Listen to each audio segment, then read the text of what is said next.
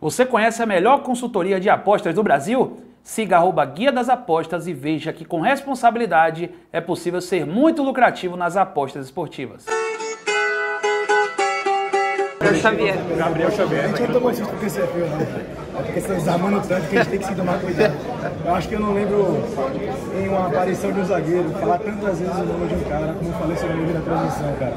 Como é que você avalia seu jogo, a sua fase incrível? Como é que você enxerga essa, esse momento que o Bahia vive, né, cara? Muito bom, um começo brasileiro espetacular 2024. Cara, é incrível, é incrível. É, não só a minha performance, mas como a performance do Bahia, o professor tem conseguido é, extrair o melhor de cada um, nos dando confiança, nos fazendo jogar. E a gente vê que cada partida é uma mais difícil que a outra. E muito feliz de hoje ter conseguido vencer a maioria dos duelos, tanto aéreos como por baixo, de ter conseguido fazer uma excelente partida e muito feliz e continuar trabalhando firme para a gente consiga continuar firme e forte nessa, nessa missão que é levar o Bahia aonde ele merece, que é na parte de cima da tabela.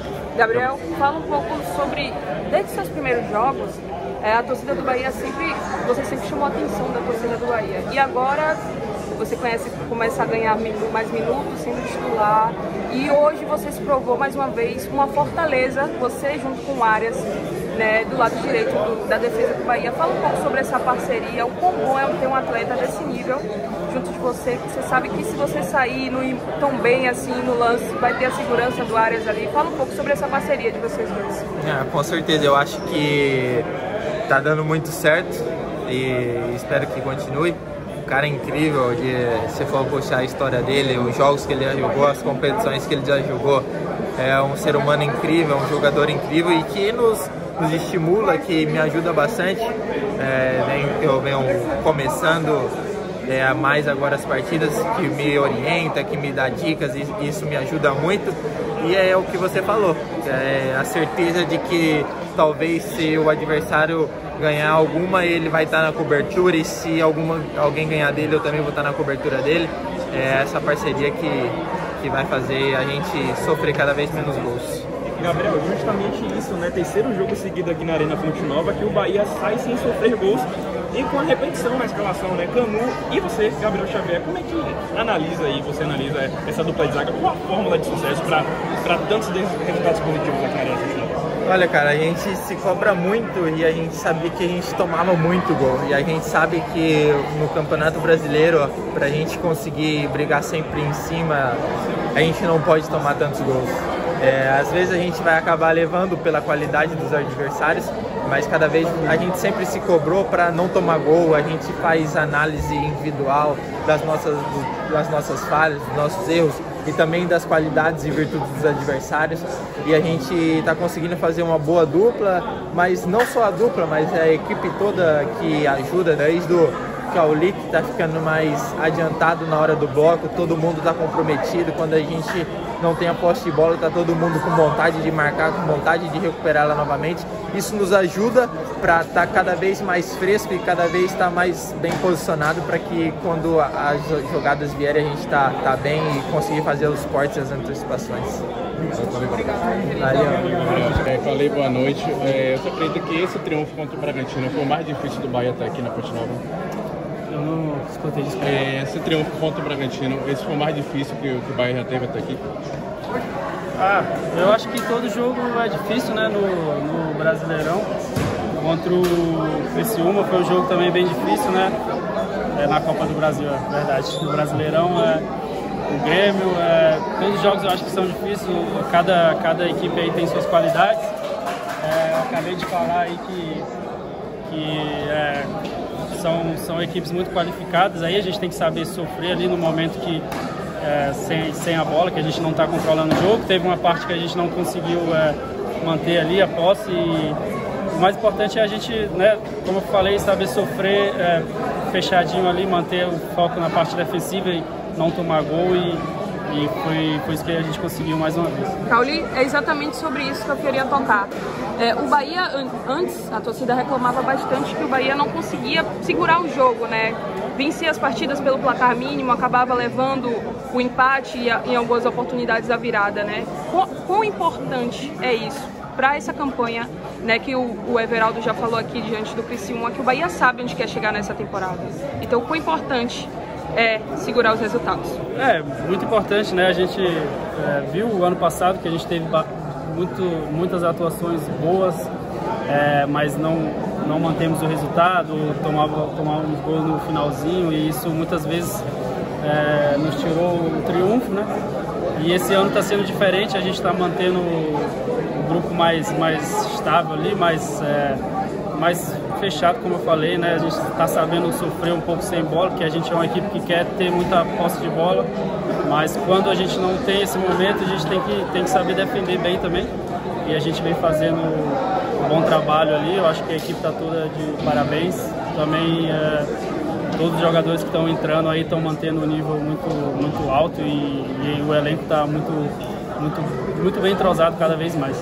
Carolina, na pré-temporada, Fernando Soriano falou a obrigação dele com o torcedor, com o grupo, de vocês com o Bahia, é fazer o Bahia campeão. Quer saber se seria em dois ou três anos.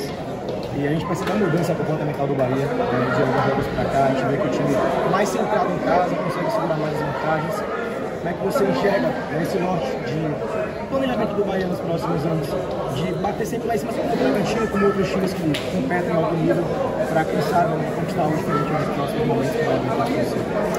É, a gente sabe que, que o projeto é, é muito grande, né? Eu acho que, que quem talvez não acreditava ainda que o projeto ia ser tão, tão grande, tão tão bom assim para o Bahia. Agora está vendo aí que a gente está trazendo bons resultados aí. E sempre pensando é, no clube, né, de levantar o Bahia é, para voltar a ser campeão. E foi o que o Fernando falou, né? A gente não sabe quanto tempo isso vai demorar, mas eu tenho certeza que esse projeto aí vai ser. É, que um dia vai chegar esse momento. É, e a gente está dando o elenco de hoje dá, dá o seu melhor aí para poder é, se aproximar cada vez mais desse objetivo. Paulinho, justamente isso, tanto você quanto o Gabriel, que passou agora há pouco aqui, tocou na qualidade dos adversários no Brasileirão. O Bahia venceu duas equipes que estavam no G6 do campeonato, quer dizer, no topo de cima, em entre os 10 primeiros, que foi o Botafogo, que era até o líder antes da partida, e venceu o Bragantino agora. E o próximo duelo é justamente contra o Atlético Mineiro, que é um dos candidatos ao título do Brasileirão.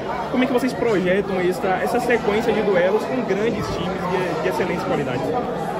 É, como eu falei, o Brasileirão é muito competitivo, né? Eu acho que todo jogo é, é muito difícil e é, eu acho que hoje os adversários estão vendo o Bahia também como, como um, um, grande adversário, né? Que, que vai brigar é, para estar tá lá em cima na tabela e eu acho que a gente já, depois de seis jogos aí, a gente vem, vem mostrando que, que nosso objetivo é outro, que a gente está bem entrosado e que a gente vai brigar por coisas grandes.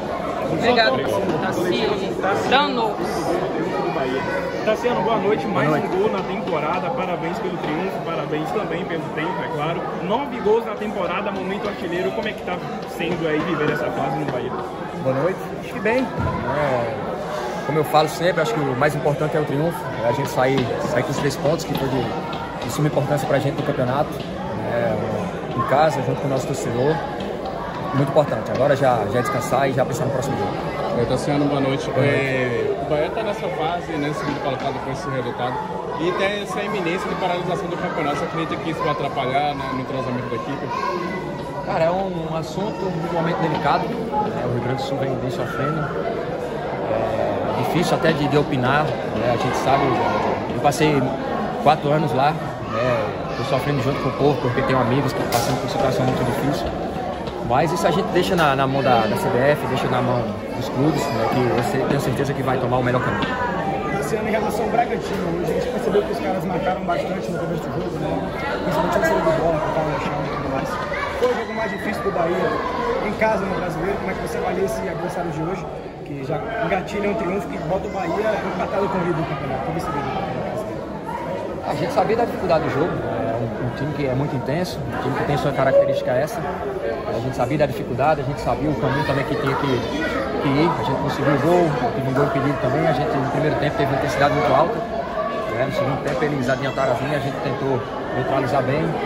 Faltou o último passo ali no segundo tempo para a gente matar o jogo. Mas o Campeonato Brasileiro é isso. Hoje a gente pegou o Bragantino. Né? Próximo final de semana a gente já pega um Atlético Mineiro também que é forte, então se olhar bem, todos os adversários têm, têm sua qualidade, têm sua força, então é isso. Continuar na pegada e continuar nesse foco para a gente continuar bem. Tassiano, quando o Ceni chegou, ele falou que em alguns momentos o Bahia ia ter que abrir mão da filosofia do grupo, que é o jogo de posse de bola. E a gente vê, né, contra o Fluminense foi assim, para poder sair com triunfo. Contra o Fluminense, contra o Grêmio e hoje contra o Bragantino. Como é que você observa isso? Acho que faz parte do jogo, acho que você tem que estar pronto para para tudo que, que, tiver na partida. Né? Vai ter momentos que você vai ter que ficar com a bola, vai ter momentos que você vai ter que atacar a, a última linha. Né? E isso a gente está com, com, o passar do tempo, com o entrosamento, a gente está conseguindo né, ter esse time do, do jogo. Né? Então é isso. Né? Como eu falei, agora já, já descansar, ter uma semana boa para enfrentar o Atlético.